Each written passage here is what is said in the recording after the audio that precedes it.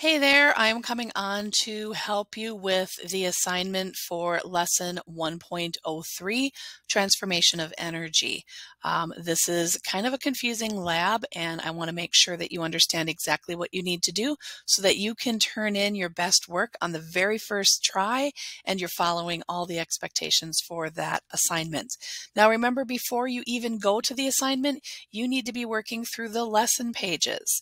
You need to work through all of the lesson pages and make sure that you understand the information because that's what the assignment's all about. You should be spending more time in the lesson pages than you are completing the assignment not the other way around. You're also going to notice when you come here that there is an additional lab report. Now, if your school district has allowed you to have access to Google Documents, I have created the lab report in the form of a, a Google Doc. It's your choice. You can use the one that is in Buzz on the last page of the lesson, or you can use the Google Doc that I've created for you. If you choose to use this one and your district has access to Google Docs, when you click here, it gives you the link to make your own copy of that report. So I'm going to go ahead and make a copy so you can see what it looks like. All right, so this is the Google Doc form of version of the lab report. Uh, you can also, I'll show you how to use the one in Buzz if this does not work.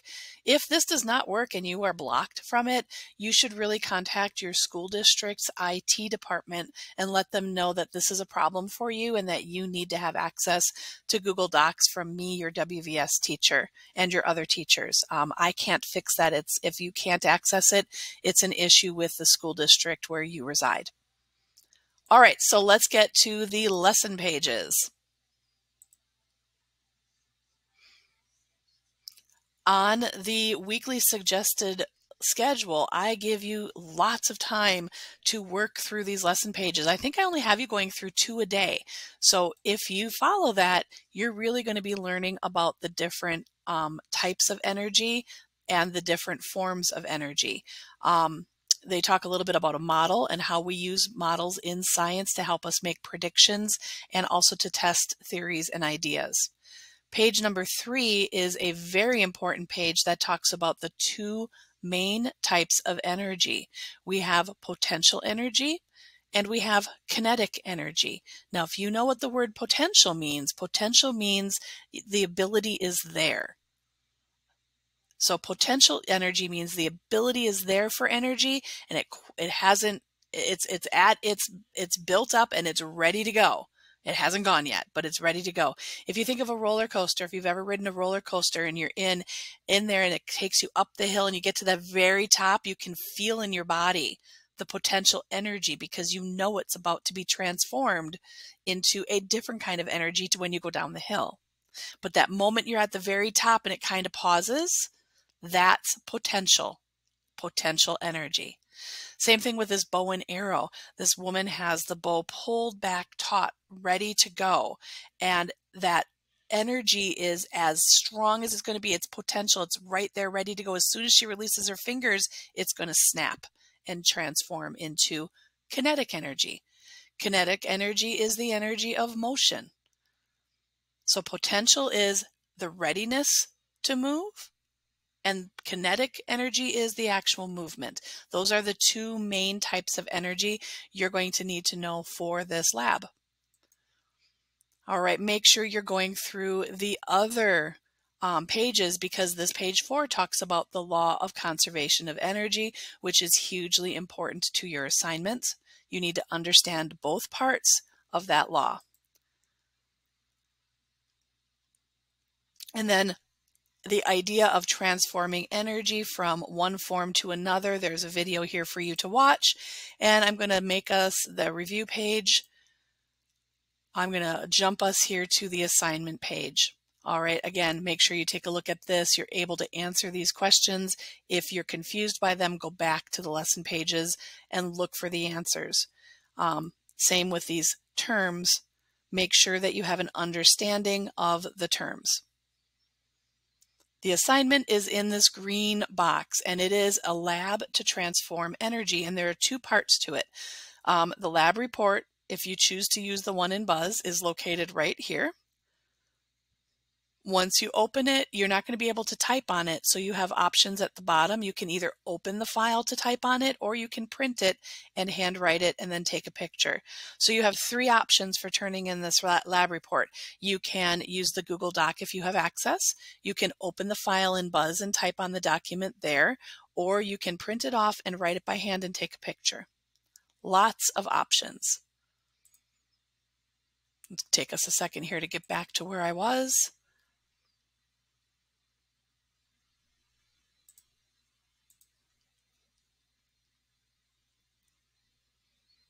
All right.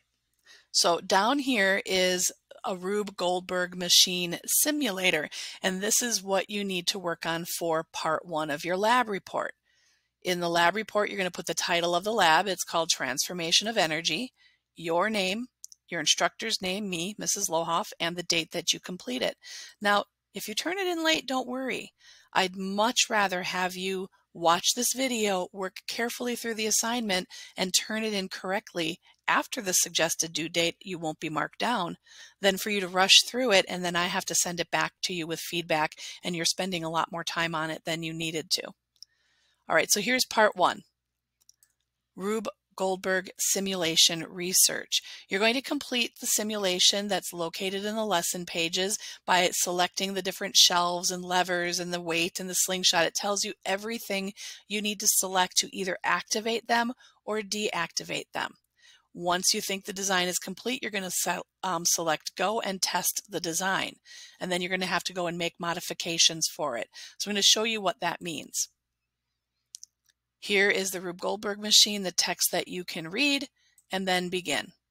So if I press go, the machine will start running, the ball drops, and oops, something isn't right. I need to make an adjustment because this shelf is level and we want the ball to travel. We want to transform the potential energy into kinetic energy and move it into this funnel so that the machine keeps going. So if I click on the shelf, it will give the shelf some slant, a slant and a slope. And if I do this again, all right, well now the scissors went, but we the scissors isn't cutting anything. So I have to get the string up there for the scissors to cut. And then I can see here that when the weight drops, the, the lever or the catapult isn't activated correctly. Um, it doesn't it doesn't have potential energy. So I'm going to switch this so now this has potential energy and we'll try it one more time. All right. And we're going to keep going. The goal of this machine is to get the shade to come down over the window. That's what you're trying to do. So you're going to need to come through and get everything to work so that the shade eventually comes down. Once you've gotten that to work, you come back here and you're going to look at that machine and list three examples of where potential energy is transformed to kinetic energy. Where do you have the potential for energy to happen? It's ready and waiting and then it transfers into motion, energy of motion. Three different examples and make sure you are using complete sentences, not just jotting down your ideas. They even give you an example here. The ball has potential energy when it sits on the shelf that transforms into kinetic energy when it falls to the ground. You could use this sentence frame to um, for all three examples and just enter in the things um, that you noticed were potential energy that transformed. So that is part one. Part two is you're going to design your own Rube Goldberg device. This is so much fun. You can build one in your home. I've had two daughters that have built, um, they're now in high school, and when they were in middle school, they built Rube Goldberg machines in our living room. Um, one of my daughters, it was quite elaborate, and we couldn't sit on the couch for several days.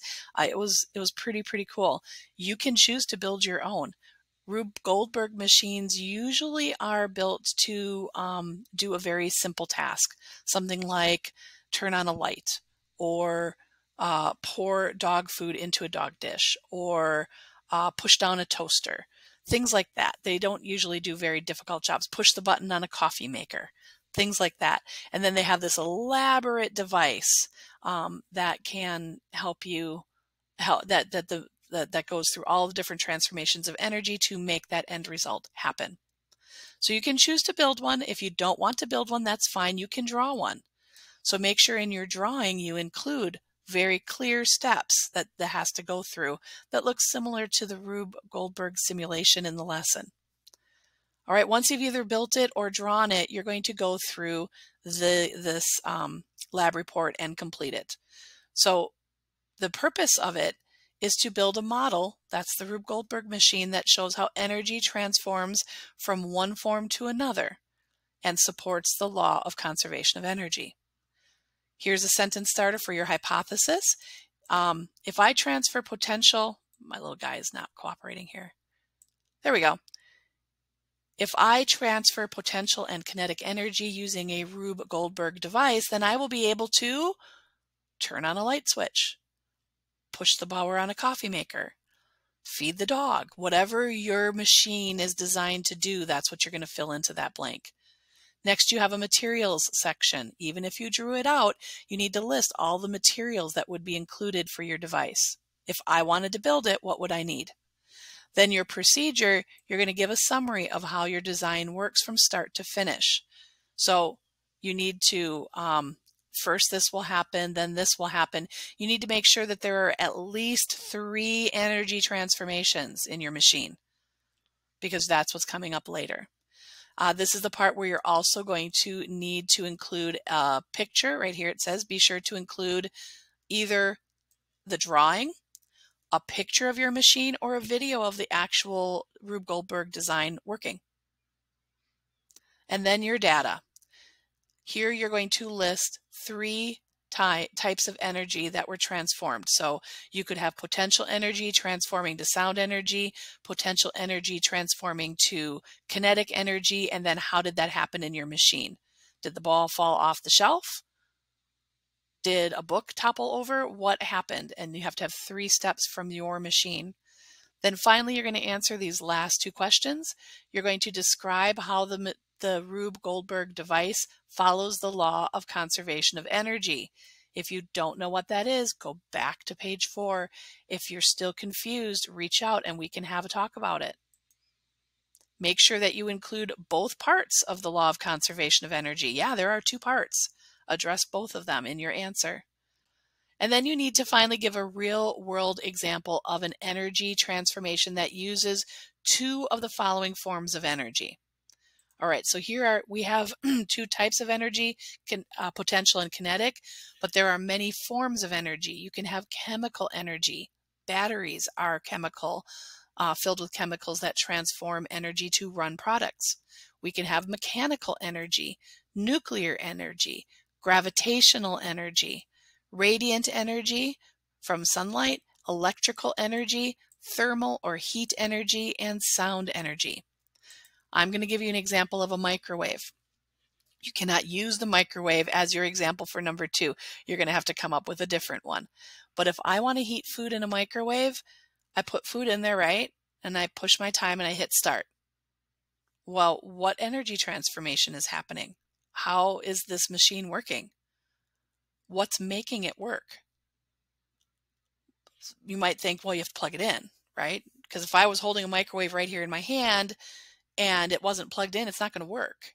It has to be plugged in. Well, what type of energy are you using when you plug something in? That's electrical energy, right? So the microwave is transforming electrical energy into what kind of energy to heat the food? Thermal. That's what a microwave does. It also can create um, sound energy because you can hear it it makes a buzzing sound usually while it runs, and radiant energy because it does create, there's a light bulb in there that goes. Um, and there's some motion as well if you have a plate that turns around. So that's a real world example. You can't use a microwave in yours. you have to use something different. All right, I hope you found this helpful. I know this was a long video, but this is a rather complicated lab and I wanted to make sure you understood exactly what you needed to do. If you have questions, you know you can email me. All right. Bye, guys.